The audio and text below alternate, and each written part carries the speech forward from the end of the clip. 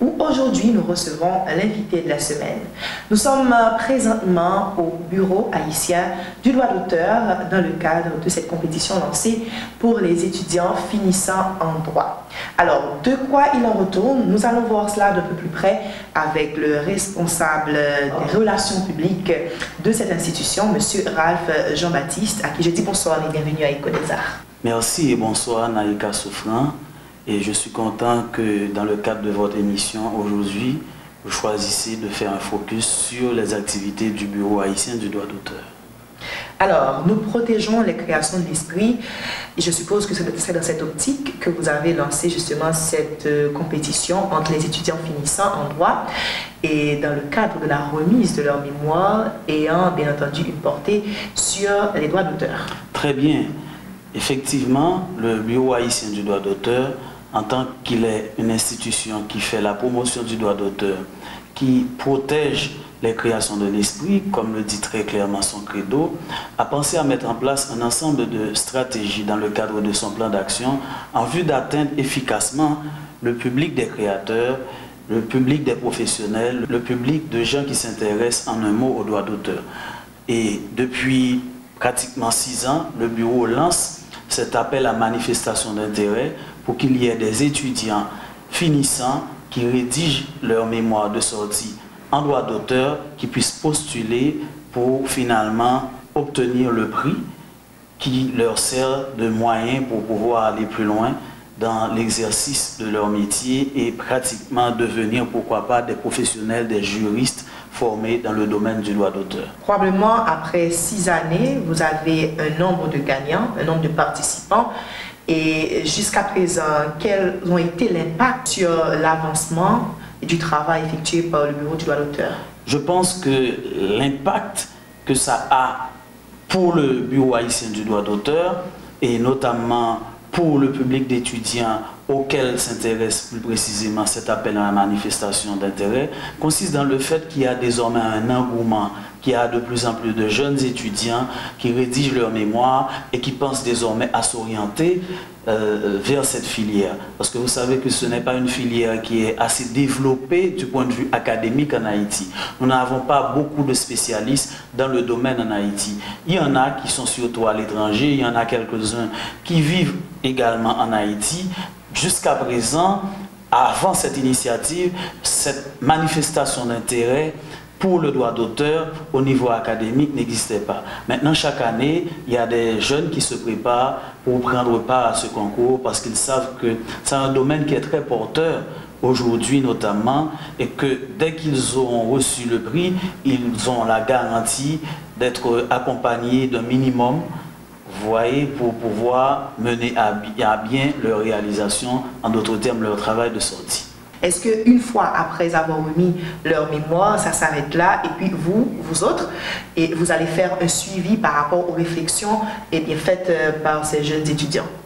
Écoutez, ce que fait le bureau avec cet appel à manifestation d'intérêt, c'est d'encourager mhm. les jeunes, c'est d'encourager, de stimuler une production abondante, si on veut le dire, à ce niveau, c'est-à-dire au niveau du droit d'auteur, auprès de ce public. Après, ces jeunes qui deviennent boursiers, ils intègrent le réseau des spécialistes en droit d'auteur avec lequel le bureau peut être appelé à travailler, notamment quand le bureau organise de concert avec l'Organisation mondiale de la propriété intellectuelle des forums sur le droit d'auteur, des forums sur la propriété intellectuelle, quand le bureau organise conjointement avec le ministère du Commerce et de l'Industrie des activités, il peut par moment faire appel à ces jeunes-là. Et en plus, ces jeunes peuvent être encouragés par le bureau à poursuivre leurs études dans le domaine. Ils peuvent être intéressés, par exemple, à, à faire des masters, à faire des doctorats des études de doctorat dans le domaine. Dans ce sens-là, on peut dire que c'est une activité il ne s'arrête pas à cet appel à manifestation d'intérêt et à la remise des bourses en particulier. Ça se poursuit dans l'encadrement, ça se poursuit évidemment au niveau des équipes de travail que ces gens, ces boursiers peuvent intégrer et ça peut contribuer dans l'ensemble à faire avancer la cause du droit d'auteur en Haïti. Une cause extrêmement chère à au BHDA, donc au Bureau haïtien du droit d'auteur. Euh, maintenant, pour ces, pour ces étudiants-là, est-ce que euh, normalement, et ce sont les institutions et auxquelles euh, ils appartiennent qui doivent faire le suivi avec le bureau haïtien du droit d'auteur ou encore n'importe quel étudiant peut prendre l'initiative de participer et vous contacter directement et faire le suivi avec vous? Pour ce faire, le bureau envoie une lettre, une correspondance à l'adresse des doyens des différentes facultés de droit qui existent au niveau des différentes universités publiques et privées. Et ces lettres sont accompagnées de flyers que ces doyens vont pouvoir partager en les affichant avec le public des étudiants. Et dès lors qu'il y a des étudiants qui sont intéressés, ils postulent en, réunissant, en réunissant pardon, toutes les conditions qui sont nécessaires pour pouvoir avoir accès ce prix. Donc ça se fait dans ce sens-là. Dès qu'il y a un étudiant qui se sent interpellé par cet appel à manifestation d'intérêt, il le fait savoir et il contacte directement le bureau haïtien du droit d'auteur qui a une permanence ici qui fonctionne, qui donne des informations, des renseignements utiles pour accompagner celui qui prend sur lui de participer à ce concours. Maintenant, euh, nous savons que plusieurs observateurs ou encore des artistes, et malgré les efforts consentis par le BHDA, se plaignent encore par rapport au fait que leurs œuvres euh, sont toujours piratées. Et est-ce que vous pensez une telle euh, activité, une telle initiative pourrait vous aider à, mieux aider justement à la protection euh, des œuvres des artistes par rapport à l'implication d'autres jeunes, donc euh, de nouvelles pensées assurément et qui vont venir corroborer le travail que vous effectuez ici au Sans, sans l'ombre d'un doute, parce que par exemple, ce que vous évoquez là concerne un aspect très important lié à l'appel à manifestation d'intérêt. Ça concerne par exemple la recherche.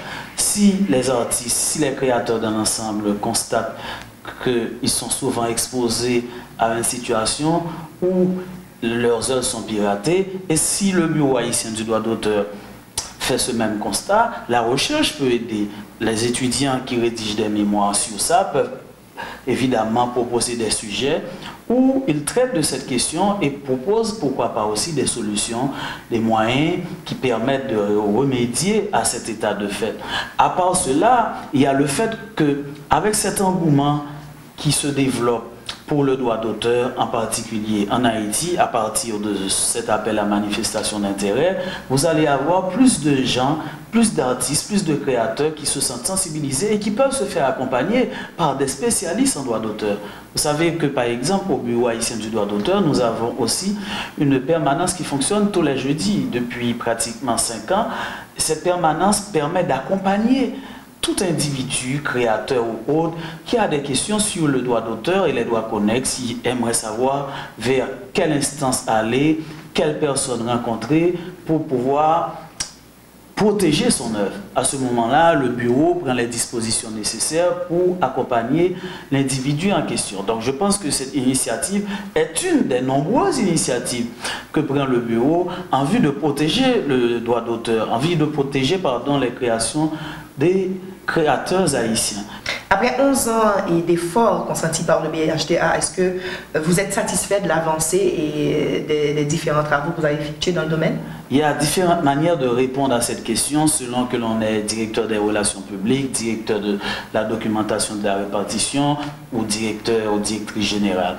Pour ce qui me concerne, je crois que le bureau a intérêt à prendre en compte les efforts qu'il a déjà consentis en vue de sensibiliser les acteurs, les créateurs sur l'importance du droit d'auteur et notamment sur la nécessité qu'il y a de venir s'enregistrer, d'enregistrer leurs œuvres. Il y a peut-être 7 ou 8 ans de cela, l'engouement pour la cause du droit d'auteur n'existait pas forcément en Haïti. On n'en parlait pas beaucoup. Cela ne concernait que quelques avertis, que quelques personnes.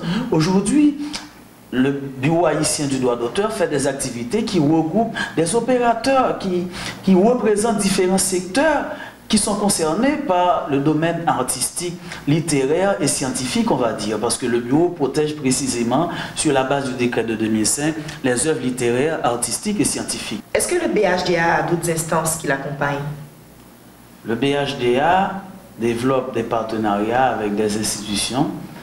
Nous avons déjà une très bonne collaboration avec l'Organisation mondiale de la propriété intellectuelle, institution qui représente euh, ce que l'on appelle la propriété intellectuelle dans l'ensemble, euh, dans le monde. Et en Haïti, par exemple, le, Bureau haïtien du droit d'auteur travaille avec des institutions publiques, travaille par exemple avec le Théâtre national, travaille avec la radio-télévision nationale, travaille avec des institutions privées qui sont dans la gestion collective, qui veulent s'impliquer dans la gestion collective, travaille aussi avec des institutions qui utilisent, qui exploitent les œuvres évidemment, et euh, qui sont sous droit. Je pense précisément au groupe euh, euh ITs, je pense au Technogroup également, qui sont deux groupes de, structures, de plateformes avec lesquelles évidemment le bureau a signé des accords. Et sur la base de ces accords, désormais, les œuvres des artistes qui sont protégés au niveau du bureau haïtien du droit d'auteur peuvent euh, leur permettre dès qu'elles sont utilisées par les plateformes en question, permettre donc à ces artistes de recevoir des redevances, une rémunération. Dans ce contexte-là, par exemple, l'année dernière, pour la première fois dans l'histoire du droit d'auteur en Haïti, on a eu une répartition symbolique qui a été offerte à trois artistes haïtiens, trois créateurs musicaux. Il s'agit par exemple de Miou, de Ked et de, de Baki Popilé. C'était la première fois. Cette année, nous espérons reproduire euh, cette expérience. Nous espérons aller plus loin là-dedans. Mais je considère que déjà, c'est pas mal. Et si nous arrivons à avoir l'appui d'autres institutions, je suis convaincu qu'on pourra aller plus loin dans cette démarche qui est d'accompagner les créateurs haïtiens. Si on reprend dans l'ensemble les, différents points sur lesquels les étudiants finissant en droit doivent se pencher pour prendre part à cette initiative et ensuite aussi la date limite euh, pour que les étudiants puissent euh, prendre part à cette compétition. Le concours est lancé et depuis euh, maintenant plus d'une semaine et le, les, les étudiants finissant en question ont entre le 15 février et le 22 mars pour soumettre leur projet. Les conditions qu'il faut qu'ils réunissent sont les suivantes. Ils doivent avoir un certificat de fin d'études juridiques octroyé par une faculté de droit reconnue. Il leur faut aussi soumettre un relevé de notes. Il leur faut un directeur de mémoire qui valide le travail, l'avant-projet comme on l'appelle, présenté par l'étudiant finissant en question. Et il faut surtout qu'il ait fait choix d'un sujet qui ait rapport à un des multiples aspects du droit d'auteur en Haïti, qu'il s'engage à soutenir en son mémoire plus tard le 30 septembre 2018, et qu'enfin, qu'il euh, euh, euh, soumette deux exemplaires de ce travail au Bureau haïtien du droit d'auteur une, une fois qu'il aura reçu le prix. C'est-à-dire que Dès que l'étudiant finissant postule, son dossier est analysé et que sa candidature est retenue, ils doivent être au nombre de deux, pas plus. Cela se fait ainsi chaque année. Donc, il va recevoir l'accompagnement financier qu'offre le Bureau haïtien du droit d'auteur. Il va s'engager à, donner un état des lieux euh, euh, de temps en temps, périodique, de son travail. Et à la fin, il soutient son, son mémoire et il présente deux exemplaires de ce travail au bureau haïtien du droit d'auteur. Donc c'est simple, nous avons ici un téléphone qui fonctionne, c'est le 28 11 56 26. S'il y a quelqu'un qui a besoin d'informations complémentaires, de renseignements, il n'a qu'à appeler au bureau et Madame Lafleur qui s'en charge se fera un plaisir de lui fournir toutes les informations nécessaires. Constatez-vous un engouement de la part de ces étudiants finissant en droit par rapport à l'initiative prise par euh, le BHDA Absolument. Nous recevons depuis la semaine dernière une dizaine de dossiers et cela ne fait que continuer. Donc je pense qu'il y a un engouement. Les étudiants sont informés de la tenue de ce concours et ils y participent. Ils y participent chaque année. Je pense que l'engouement est là. Maintenant, à part la participation, il faut qu'il y ait des dossiers convaincants. Et à ce stade, il y a une commission, un jury très compétent, autonome, qui travaille sur l'analyse de ces dossiers et qui délibère à partir des projets euh, qui, qui, qui, sont pertinents à ses yeux. Donc c'est à ce niveau-là que le travail se fait. je peux vous assurer que l'engouement, il y est. Un, dernier message pour tous ceux qui sont intéressés à concourir euh, par rapport à cet appel à manifestation d'intérêt. Le bureau vous encourage vivement à prendre part à ce concours et à vous informer de ce qu'il fait quotidiennement pour faire avancer le droit d'auteur en Haïti. Les jeunes étudiants finissant en droit, ce concours s'adresse à vous. Le droit d'auteur est un domaine extraordinaire, est un domaine riche en réflexion. Je vous invite donc, au nom du Bureau haïtien du droit d'auteur, à prendre part activement à ce concours et pour vous informer davantage, vous n'avez qu'à appeler au 28 11 56 26 ou passer au bureau qui se trouve à l'adresse suivante 31 rue Canapé Vert. C'est très simple. Nous sommes également disponibles euh, sur les réseaux sociaux, sur Facebook. Et c'est très simple de nous rejoindre en nous contactant par un message, par un mail, et, vous avez automatiquement toutes les réponses que vous pourrez souhaiter avoir sur ce concours que nous, nous réalisons au niveau du bureau depuis pratiquement six ans. Venez, vous êtes attendus, le bureau est ouvert, il le fait, que vous invitez à partager avec lui cette illusion tellement importante pour l'avenir de ce pays, pour l'avenir de la, de la littérature, de la science, qui, qui s'exprime particulièrement dans son credo, nous protégeons les créations de l'esprit. Merci beaucoup, euh, Monsieur Ralph euh, Jean-Baptiste. Merci à vous aussi, Naïka Souffrant, de m'avoir reçu à Éco des Arts et j'espère que d'autres occasions se présenteront pour continuer à échanger sur ce que fait le Bureau haïtien du droit d'auteur en Haïti.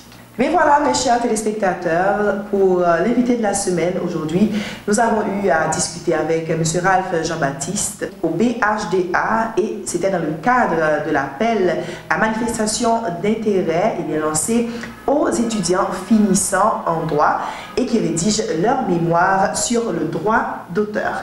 Alors voilà, rendez-vous euh, la semaine prochaine pour euh, notre rubrique invité de la semaine. Mais d'ici là, bonne suite de programmation sur la Télé Pacifique.